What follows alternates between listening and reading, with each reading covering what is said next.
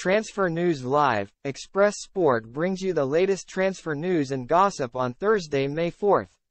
While the Premier League season is still far from done, clubs from the top flight and beyond are already beginning to kickstart their summer transfer business on the right note amid fears they could be left behind.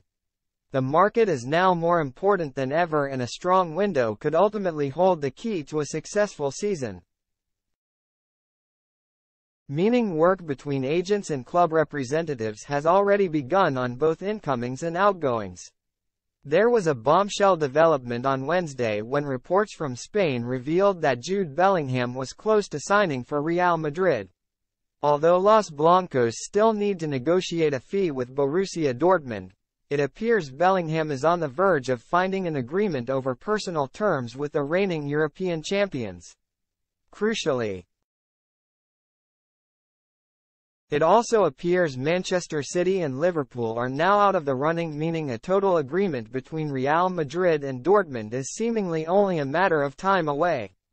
This is a major story because it will also shape transfer plans elsewhere, not least Liverpool where Bellingham has been courted for over two years. Now the Reds will have to move on to other targets and the name at the top of their shortlist is Brighton's Alexis Mac Allister. It's understood progressive talks have already been held with the Argentines camp ahead of a summer transfer and the deal is moving in the right direction even if a fee still must be negotiated with Brighton. Not the easiest of tasks. Manchester City will also be looking to reshape their midfield this summer and with Bellingham off the table, the Premier League champions must configure their next move with captain Ilkay Gundogan also of huge interest to Barcelona.